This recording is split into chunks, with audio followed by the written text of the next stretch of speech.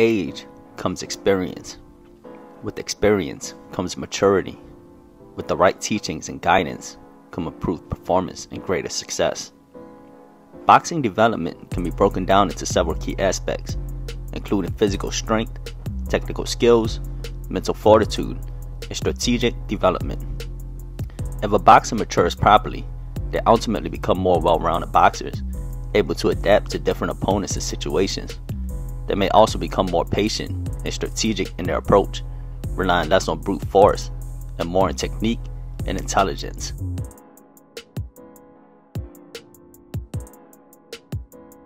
With Shakur moving north to lightweight, his eagerness to challenge not only himself, but to also make a statement in his campaign in the new weight division has him facing an undefeated top 10 opponent of the division.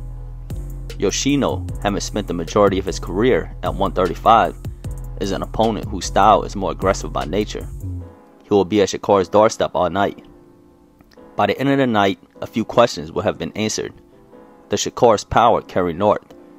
If any, how much speed does he lose? How's his patience and willingness to engage? And most importantly, Shakur's maturity and commanding skills with his ring generalship. Or meeting him with that lead hand, then firing off the jab. Goes on. Range is prioritized at the top of the totem pole in boxing. It determines how far away a boxer can strike their opponent. As power is at the end of your punches. Why shorten the battlefield when you can instead create more layers for the opponent?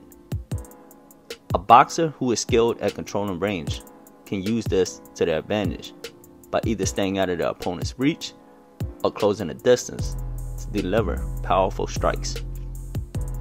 Additionally, range can be affected by a number of factors, including height, reach, and footwork.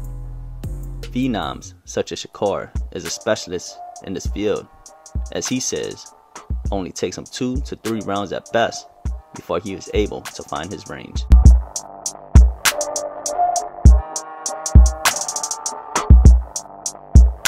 Once range was established, what happens is it gives a sniper a split second more to react. In this case, Yoshino got over anxious, reached in with everything falling short of his target. Stevenson held his ground and capitalized on the mistake. He fell into an uncompromising position where he was caught off balance, dead in the center of the pocket, exposed.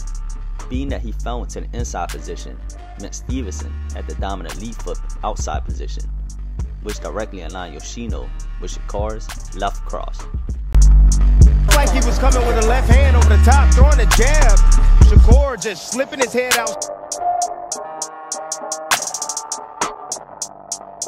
If there's one thing about human behavior, it's that we are creatures of habits and patterns. Pattern recognition in boxing refers to the ability to identify and analyze patterns of behavior, movement, and strategy in an opponent's fighting style. To develop pattern recognition skills, one must pay close attention to their opponent's verbal cues, otherwise known as their triggers and telegraphs. Once patterns are identified, boxers can use the collected data and knowledge to adjust to the strategy and make more informed, intelligent decisions on how to approach the fight.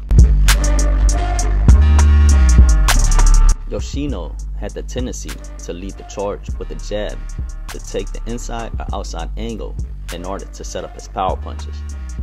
On top of that, he was front foot heavy and led with his head. Shakur would look for indicators and intelligently react, whether it's to draw punches to counter or have well placed shots as he figured Yoshino's timing.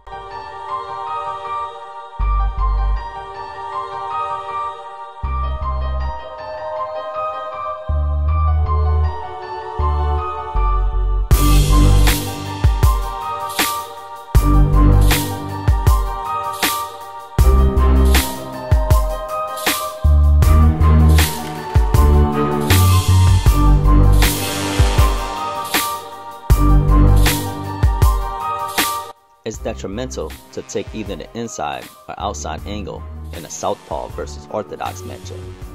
You cannot attack in a straight line due to foot placement. Shakur chose to defend at angles instead of pulling straight back and getting caught against the ropes.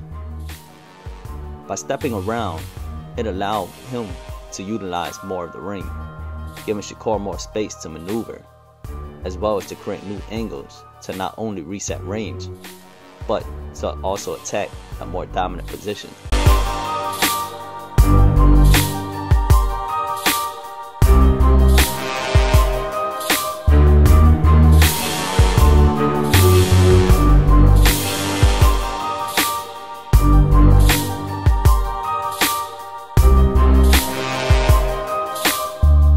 Shakur was attentive to every position in the ring.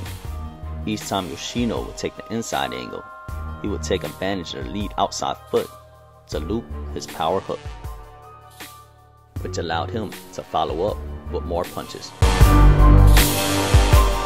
See the combinations right here from Shakur Stevenson. Coming around that guard. Beautiful right hook. Letting his hands go. That opened up. He moved the guards right there. Boom. Left hook like a child. In timeout.